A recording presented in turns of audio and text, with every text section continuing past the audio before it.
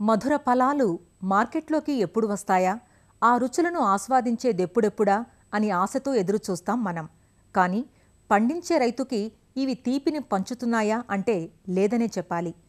మామిడి ఒక ఏడాది కాపునిస్తే మరుసటి ఏడాది ఇవ్వదు. కాసిన ఏడాది రేటు ఉండదు. రేటు ఉన్న ఏడాది కాపే ఉండదు. వాతావరణంలో వస్తున్న మార్పులు ఉష్ణోగ్రతల్లో వస్తున్న వ్యత్యాసాలు వీటికి తోడు యాజమాన్యంలో మనం చేపట్టే లోటుపాట్ల వల్ల నవంబర్ మాసంలో రావాల్సిన పూత ఏటా ఆలస్యంగా జనవరి ఫిబ్రవరి మాసాల్లో రావటం అది కూడా ఒకేసారి పూయక పలు దఫాలుగా రావటం అలా వచ్చిన పూత పిందే కట్టక దిగుబడులు తగ్గిపోవటం రివాజుగా మారింది. ఈ సమస్యలకు చక్కటి పరిష్కార మార్గంగా ఎకరాకు రెండు వందల నుంచి మూడు వందల మొక్కలు నాటి పది టన్నుల దిగుబడి తీసుకుని అధిక సాంద్ర పద్ధతి అందుబాటులోకొచ్చిన ఇరవై ఏళ్ళ క్రితం నాటిన తోటలు పలుచోట్ల అధిక విస్తీర్ణంలో ఉన్నాయి. అల్ప సాంద్రతలో ఎకరాకు పద్దెనిమిది నుంచి ముప్పై మొక్కలు చొప్పున నాటిన ఈ తోటల నుంచి ఎకరాకు ఐదారు టన్నుల దిగుబడి కూడా తీయలేకపోతున్నారు. దిగుబడిని అటుంచితే మామిడి రైతుకు అందివచ్చే రాబడి చాలా చాలా తక్కువ. ఎందుకంటే ఎక్కువ మంది రైతులు కాత దశలో తోటలను వ్యాపారస్తులకు అమ్మివేస్తారు. సొంతంగా మార్కెట్ చేసుకునేవారు తక్కువ. ఎకరం ఇరవై వేలు లేదా ముప్పై వేలకు గుత్తకిస్తే ఎకరాకయ్యే పదివేల రూపాయల ఖర్చులు పోను మామిడి రైతుకు మిగులుతున్నదెంతో తెలుసా? పది నుంచి ఇరవై వేలు. మరి మామిడి తోటలు రైతుకు ఎంతమాత్రం భరోసానివ్వని ఇలాంటి పరిస్థితుల్లో ఆ రైతు మాత్రం ఎప్పుడూ మధుర ఫలాలనే పండించుకుంటారు. తోటి రైతులను అబ్బురపరుస్తూనే ఉంటారు. ఎవరా రైతు? మామిడి సేద్యాన్ని ఎలా చేపడుతున్నారు? చూడాలని ఆరాటపడుతున్నారా? మీకోసమే చూసేయండి మరి.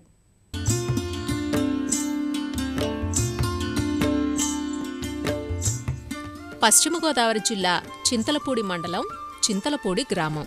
గతంలో మామిడి తోటలు బాగా సాగైన ప్రాంతం ఇది. మామిడి నుంచి ఆశించిన రాబడి లేక దాదాపు ఎనభై శాతం మామిడి తోటలు కనుమరుగయ్యాయి. వాటి స్థానాన్ని జామాయిల్ పామాయిల్ ఆక్రమించాయి. అయితే ఒక తోట మాత్రం చెక్కు చెదరలేదు. ఆనాటికి ఈనాటికి నమ్ముకున్న రైతుకు తీయని ఫలాలను రుచి చూపిస్తూనే ఉంది. అందుకే చుట్టుపక్కలున్న మామిడి రైతులకు ఈ తోటంటే అబ్బురం. ఈ తోట ఉన్నది మూడెకరాల్లో. తీయ తీయని మామిడి పండ్లను పండిస్తున్నది బొంతు సత్యనారాయణ. యాభై ఎకరాల సొంత వ్యవసాయం ఉంది ఈయనకి. అరటి చెరకు మొక్కజొన్న వంటి పంటలు పండిస్తూ ఉంటారు. ఇది పద్దెనిమిది సంవత్సరాల తోట. ఎటు చూసినా పద్దెనిమిది గజాల దూరంతో ఎకరాకు పదిహేను చెట్లు నాటారు. ఏడు మార్చి ఏడు కాపునివ్వటం బంగినపల్లి సహజ లక్షణమే అయినా ఈ తోట నుంచి ఏటా నికార్సైన పంటను పొందుతున్నారంటే అది సత్యనారాయణ అనుభవంతో చేపట్టే యాజమాన్యమే కారణం. మామిళ్ళలో వరిని అంతర పంటగా సాగు చేయటం ఈ ప్రాంతంలో ఆనవాయితీ. నీటి వస్తి ఉన్న చోట వరిని సాగు చేస్తారు. అయితే అలా వరి వేయటం వల్లే రెండు పంటలకు సరిపడా పోషకాలు నీరు అంది మామిడికి కలిసి వస్తోందంటారు సత్యనారాయణ. ఈయన తోట నవంబర్లోనే పూతకొచ్చింది. మిగతా తోటలన్నీ జనవరి నుంచి ఫిబ్రవరి మొదటి వారం వరకు వస్తూనే ఉన్నాయి. మొదటి కోతను ఉగాది ముందు తీసుకున్నారు. ఇప్పటికీ మూడెకరాల నుంచి పద్నాలుగు టన్నుల కాయ తెగింది. మరో పదమూడు నుంచి పద్నాలుగు టన్నులు వస్తుంది. అంటే ఎకరాకు తొమ్మిది టన్నుల దిగుబడి. తోటి రైతులకు ఎకరాకు ఇరవై ముప్పై వేలు రావటం కష్టంగా ఉంటే ఈయనకు దాదాపు ఒక లక్ష రూపాయల నికరాదాయం ఈ తోట నుంచి వస్తోంది. ఎలా అంటే మూడెకరాల తోటను రెండున్నర లక్షలకు గుత్తకిచ్చేశారు. కోత రవాణా అంతా వాళ్ళదే అంటే ఎకరాకు ఎనభై మూడు వేల మూడు వందల రూపాయల ఆదాయం కదా? ఇందులో ఖర్చు పదిన్నర వేలవుతోంది ఎలా అంటే సేంద్రియ ఎరువు రెండు వేలు రసాయన ఎరువులు మూడున్నర వేలు సస్యరక్షణ మందులకు ఐదు వేలు కలిపి ఈ ఖర్చవుతోంది. ఇప్పుడు చెప్పిన ఈ సేంద్రియ రసాయన ఎరువులు మామిడికి వరికి కలిపి. ఈ ఖర్చు పోను మామిడి మీద నికరంగా డెబ్బై రెండు వేల ఎనిమిది వందలు మిగులుతోంది. వరిని ఖరీఫ్లో వెయ్యి ఒకటి రకాన్ని వేస్తారు. ఏటా వరి మీద ఇరవై మూడు ఇరవై నాలుగు బస్తాల దిగుబడి వస్తుంటే ఈ ఏడాది ఇరవై తొమ్మిది బస్తాల దిగుబడి వచ్చింది. దాన్నుంచి ముప్పై వేల ఆదాయం. ఎండుగడ్డి అమ్మకం ద్వారా మరో మూడు వేలు కలిపి ముప్పై మూడు వేలు ఆదాయం రాగా ఖర్చు ఎరువులను మినహాయిస్తే దుక్కి నాట్లు మిషన్ కోతకు కలిపి ఒక ఏడు వేలయింది గుళికలు మినహా ఒక్కసారి కూడా వరిలో మందులు పిచికారీ చేయలేదు. ఈ ఖర్చు పోను ఇరవై ఆరు వేల నికరాదాయం వరి మీద మిగిలింది. అంటే మామిడి వరి రెండు పంటల నుంచి తొంభై ఎనిమిది వేల ఎనిమిది వందల రూపాయల నికర లాభం అందివచ్చింది సత్యనారాయణకు. ఈయన మాట్లాడుతూ మొదటి నుంచి కూడా తొలకరి ఇవ్వడంతో బస్సులు ఎరువు ఎకరానికి ఒక నాలుగు టన్నులు పోసేసి దున్నేస్తామండి. మొదలు వేసేసి ఈ పద్నాలుగు ముప్పై పద్నాలుగు ఒక కట్ట ఎకరానికి ఒక కట్ట చొప్పున వేస్తామండి. దున్నేసేస్తా దున్నేసేస్తామండి తర్వాత రూట్ వేసేస్తామండి దాంతోపాటు ఇంక వేరే మందులు వేసే పని ఉండదండి. ఆ ఉరు పొలానికి వేసే బలం సరిపోతుండదండి అట్లాగే దీన్ని ఇట్లా చేయడం వల్ల అడ్వాన్స్గా అంటే కాపు నవంబర్లోనే స్టార్ట్ అయ్యి మార్చి పది పదిహేను దానికల్లా హండ్రెడ్ పర్సెంట్ ఎక్కువ పర్సెంట్ కటింగ్ వచ్చేస్తుందండి. మంచి ఆదాయం వస్తుందండి దీనికి శాఖరి తక్కువ అండి. నవంబర్ ఎండింగ్ కాడ నుంచి దీనికి పురుగు మందులు నాలుగు సార్లు ఇప్పుడు వరకు నాలుగు సార్లు అప్లై చేసామండి. ఎకరానికి రమారమి పది టన్నులు ఎనిమిది టన్నులు వైన్ వస్తుందండి. అన్ని చెట్టుకి ఒకే రకంగా గాయదండి వేసేవాడు కూడా. ఒక చెట్టు మూడు వేలు చిల్లర ఉంటుందండి ఒక చెట్టు నాలుగు వేలు ఉంటుంది ఒక చెట్టు రెండు వేలు అండి ఒక చెట్టు పదిహేను వందలు. మినిమం వెయ్యి వెయ్యి కాయలు లోపు చెట్టు లేదండి ఇంచుమించు. మూడు ఎకరాల మొక్కలు రెండు లక్షల యాభై వేలకు అమ్మారండి. ఒక తొంభై వేలు చిల్లర రోడ్లకు వచ్చినాయండి ఒక పదిహేను వేలు గ్రాస గడ్డికి వచ్చినాయండి. మూడు యాభై ఐదు వచ్చినాయండి. ప్రక్క రైతులు మాట్లాడుతూ ఈ చింతలపూడి మండలంలోనే ఇంతవరకు ఇటువంటి కాయలు కాసిన తోట అంటూ లేదండి. ప్రతి సంవత్సరం కూడా ఈ తోట ముందుగానే వచ్చేస్తుందండి. అడ్వాన్స్గా ఒక నెల ముందుగా వచ్చేస్తుందండి.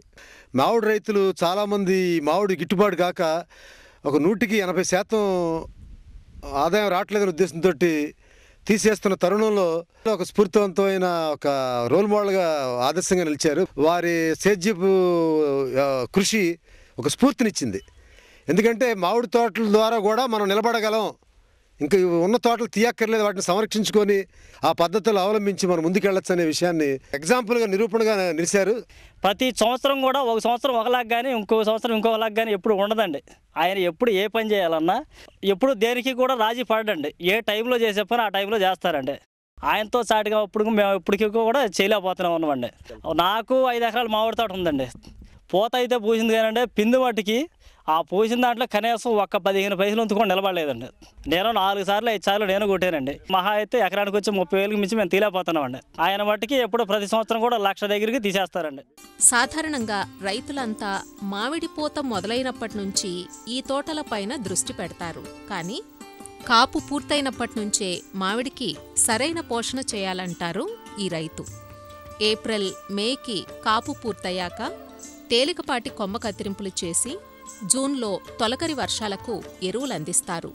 పొలాన్ని దుక్కి చేసి ఎకరాకు ఐదు టన్నుల పశువుల ఎరువు అందిస్తారు. దీనితో పాటు మామిడికి ప్రతి చెట్టుకు నాలుగు కిలోల పద్నాలుగు ముప్పై ఐదు పద్నాలుగు ఎరువును అందిస్తారు. పశువుల ఎరువు వేసిన ఒక నెలకు అంటే జులైలో వరి నాటుకుంటారు. వరి నాటే ముందుగా ఎకరాకు ఒక బస్తా డిఏపి వేస్తారు. నాటిన ఇరవై రోజులకు పైపాటుగా ఒక బస్తా ఇరవై ఎనిమిది ఇరవై ఎనిమిది ఎరువును వరికి అందిస్తారు. పైపాటు ఎరువులను ఒక్కసారే అందిస్తున్నారు. అదే ఈ నేలలకు సరిపోతోంది. మామిడి చెట్టు నీడలో కూడా వరి ఎలా పెరుగుతుంది అనే అనుమానం వస్తోంది కదూ? మామిడిలో అంతర పంటగా వేసుకునేందుకు ఎంటీయు వెయ్యి ఒకటి రకమే అనుకూలంగా ఉంది. ఆ రకాన్నే వేస్తున్నారు. నవంబర్ కల్లా వరి కోత పూర్తయిపోతుంది. నవంబర్లో అసలు నీరు కట్టరు. నవంబర్ డిసెంబర్కు మామిడిలో మొగ్గ పూత మొదలవుతుంది. అప్పట్నుంచి ఇరవై నుంచి ఇరవై ఐదు రోజుల తేడాతో నాలుగు సార్లు మందులు పిచికారీ చేస్తారు. పిందె గోళీ సైజుకు వచ్చాక వారం తేడాతో రెండుసార్లు నీటి తడిని అందిస్తారు. మామిడి చెట్టు మొదల చుట్టూ సాధారణంగా పళ్ళాలు కనిపిస్తాయి. కానీ ఇక్కడ చూడండి చెట్టు మొదలకు మట్టి దిమ్మపోసినట్లుగా కనిపిస్తోంది కదూ? ఇది గాలుల నుంచి చెట్టు తట్టుకునేందుకు. ఇంకా పొలం చదును చేసేటప్పుడు బయటపడే వేర్లకు గాలి తగలకుండా ఇలా మట్టిని మొదలకు పోస్తున్నారు. మనం వేసే ఎరువులు మామిడికి వరికి రెంటికి ఉపయోగపడినప్పుడే చెట్లు బాగా కాపునిస్తాయి అంటారు ఈయన. అదన్నమాట.